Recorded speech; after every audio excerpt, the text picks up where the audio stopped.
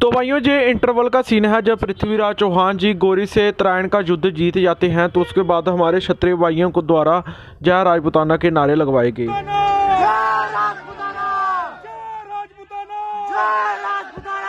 क्षत्रिय सम्राट पृथ्वीराज चौहान जी को जगह जगह राजपूत कहाँ बोला गया है?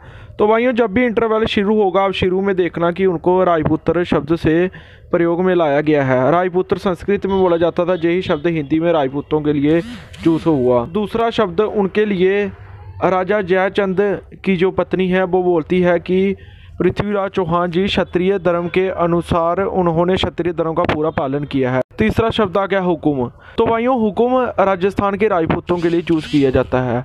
बन्ना हुकुम राजस्थान में सिर्फ़ राजपूत ही होते हैं, जिनको बन्ना हुकुम कहा जाता है। तो आप इससे अंदाज़ा लगा सकते हो कि ये फ़िल्म राजपूतों की तरफ़ ही बयां करती है, क्योंकि उसमें ठाकुर साहब भी बोला गया है। तो आपको बताएँगे कि ठाकुर जी कब बोला गया? भाइयों, जब चौहान वंश के एक बुज़ुर्ग रानी सहयोगिता जी को राज दरबार में आने से मना करते हैं, तब चंद्र बरदाई उन व्यक्ति को ठाकुर बाबा बोलकर कहती हैं कि अगर स्त्रियाँ घर चला सकती हैं तो राज दरबार क्यों नहीं?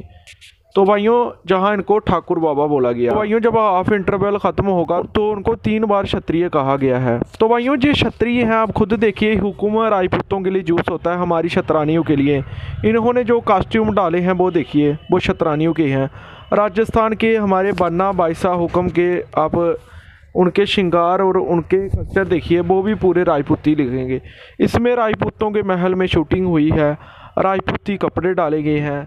जय भवानी क्षत्रियों के नारे लग रहे हैं। हुकुम राजपूतों के लिए जूस हो रहा है। तो इसमें बैंस चोरों का क्या रोल है? ये पूरी तरह राजपूतों पर फ़िल्म बनी। इसमें कुछ गलत भी दिखाया गया है वो हम आपको अगली वीडियो में बताएँ तो आप सभी इस वीडियो को ज़्यादा से ज़्यादा शेयर कर दें।